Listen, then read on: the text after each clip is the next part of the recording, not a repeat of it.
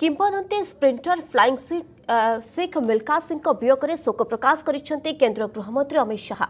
ସେ ବିଶ୍ୱ ଆଥଲେଟିକ୍ସରେ ଏକ ଅବିସ୍ମରଣୀୟ ଚିହ୍ନ ଛାଡ଼ି ଯାଇଛନ୍ତି। ଜାତି ତାଙ୍କୁ ସର୍ବଦା ଭାରତୀୟ କ୍ରୀଡ଼ାର ଉଜ୍ଜଳ ତାରକା ଭାବେ ମନେ ରଖିବ। ମିଲ୍ଖା ସିଂଙ୍କ ପରିବାର ଏବଂ ଅନୁଗାମୀଙ୍କୁ ଟ୍ୱିଟ୍ କରି ସମବେଦନା ଜଣାଇଛନ୍ତି ଅମିତ ଶାହା।